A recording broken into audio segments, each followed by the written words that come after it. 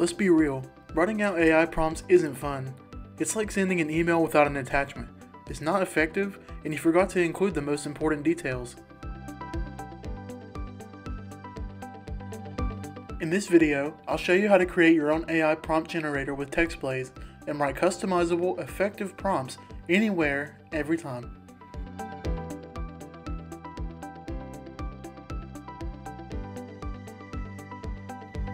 TextBlaze offers a prompt generator template that you can copy at the link in the description, but in this video, I'll show you how to create your own so that you can automatically generate AI prompts anywhere.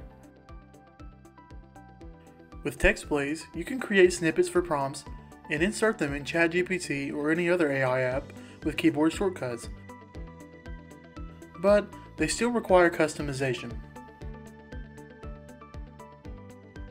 You can add form menus and text fields which act as placeholders in your prompts where you can customize them in real time. For example, you can add a form menu in your prompt with common tasks, which allows you to dynamically choose what the task is as you're inserting the prompt into ChatGPT. This helps you quickly configure your prompt and tell the AI exactly what you want to do in seconds. You can also add text fields in your prompts so that there are placeholders for things that vary between prompts. For example, the topic of the content you're looking for likely changes between prompts, so you can add a text field to insert this as you're inserting the prompt.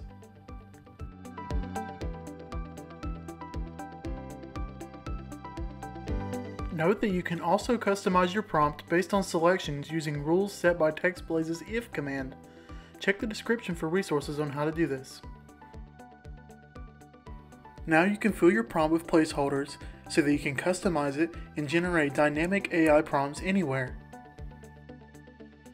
All you have to do is select options in the menus, fill in the placeholders, and you've generated an effective AI prompt with ease. Note that this works in any AI writing app, such as Google Gemini, as well as Microsoft Copilot.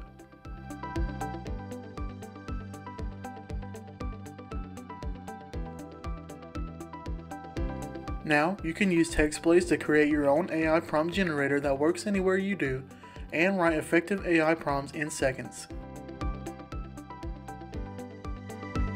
As always, feel free to post in our community for help.